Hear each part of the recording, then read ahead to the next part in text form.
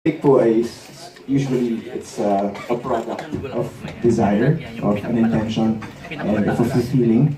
So yung show namin hindi siya about halik. That's why it's very interesting kasi our yung show po namin ay ang tinatakil nito is yung bakit ka naghalik.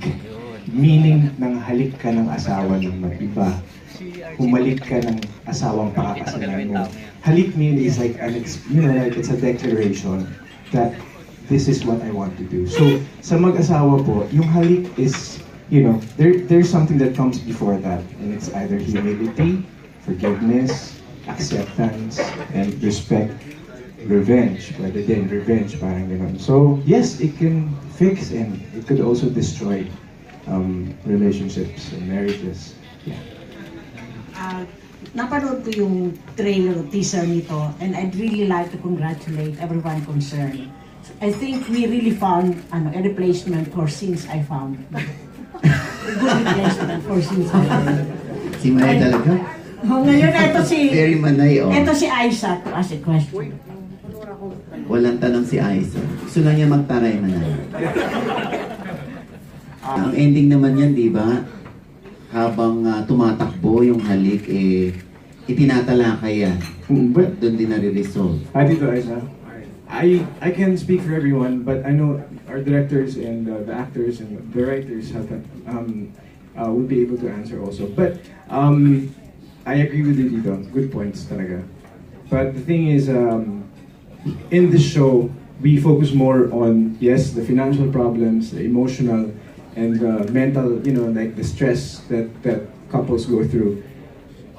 Hindi masyado dun sa okay, yung parang uy, sexy, hot, ganyan, ganyan. That's sec- very secondary.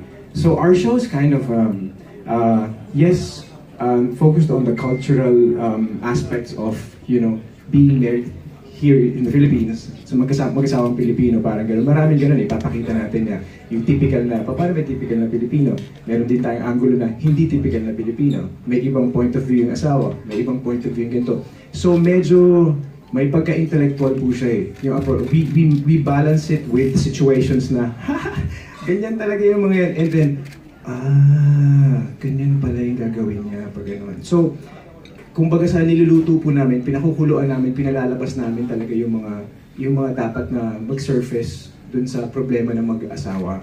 Ganyan. So, how do we solve that? First, we show the picture. First, we show the problem, and then we deal with it, and then we wait for people if they agree or not. If they don't agree, it's okay. If they agree, then it's Spin okay a also. Spin a win. Parang ganun. Right, direct. Yun yung ginawa ko po, uh, doble cara. Good boy naman po ako doon. So, um, I'm, I'm happy to be doing something offbeat and I'm really thankful kay uh, Direk Roel um, and his unit for offering me this role. Kasi, nung in-offer niya sa akin yung role na to, he also realized na Sam, nags- mas nagsishine ka sa mga offbeat roles, yung mga gray character. Um, I mean, sa first teleserye ko is maging sino ka man. Um, mas offbeat, mas serious, and um, and isa pa, um, huwag ka lang mawawala with Judy, uh, with Juday. So, um, mas nag-enjoy sa mga roles na ganito. Nahirapan lang akong intindihin yung character ko minsan, yung, yung, minsan yung sobrang, grabe, ganun talaga yung, yung character ko. Pero, you can't judge your character, but at the same time, I'm having trouble understanding him. But yeah, it's, it's, a, it's a challenge and um, I'm enjoying it. do you have more pressure in trying to showcase a gray character than a straight white character? Um, What's the difference between playing a, a straight character, white character, and a gray character, or a black character? because it's it's when when the character is either black or white, but you know he's good or you know he's bad. Um, gray characters, um, hindi lang siya hindi siya kontrabida, but he's he, he's he has evil inside him, but you have to understand him while you're we're watching. Parang iintindihin mo siya kung bakit ganun yung yung ginagawa niya. Parang, okay, thank you. Yeah, thank I'd you. like to congratulate Ruel. Mga... Sam. Ay, um, yan, ano? Ang hirap din. Yun, uh, how do how do we prepare for how the for the love scenes?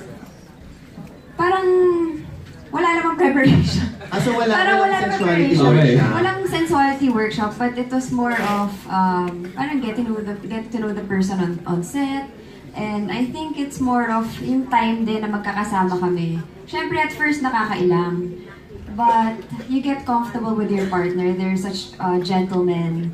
Um, lalo na si Echo. And the grabe. joke lang. Tsaka si Samren, of course. joke.